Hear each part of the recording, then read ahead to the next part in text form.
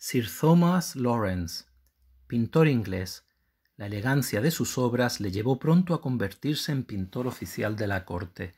Fue miembro de la Royal Academy y retrató a la alta burguesía y aristocracia inglesas. Durante su estancia en Roma, tuvo ocasión de realizar retratos al Papa Pío VII y al Cardenal Gonsalvi. Está considerado el sucesor de Joshua Reynolds. Thomas Lawrence, Reina Carlota. En esta obra aparece representada Carlota Sofía de Mecklenburg-Strelitz, que se casó con Jorge III y fue coronada en 1761. El escritor Horace Walpole comentó con relación al aspecto de la reina que era pálida y delgada, y que no era especialmente guapa ni alta, pero que sin embargo parecía sensata y fina.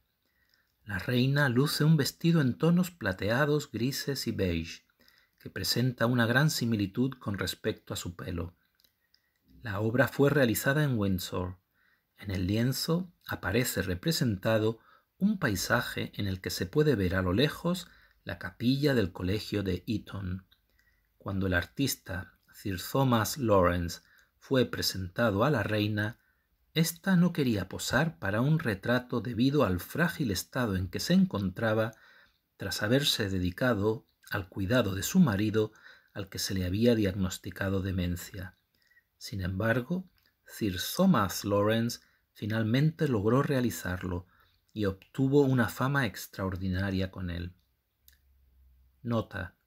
La reina Carlota luce un brazalete de perlas en su muñeca, que a su vez contiene una miniatura en la que aparece representado Jorge III.